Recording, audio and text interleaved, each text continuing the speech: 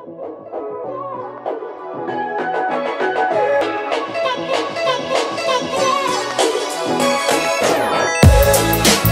all Nukka's gonna have to do is pick the treat that's by the Patriots picture or the Eagles picture.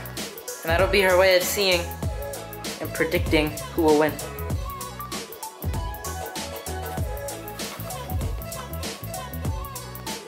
It's close.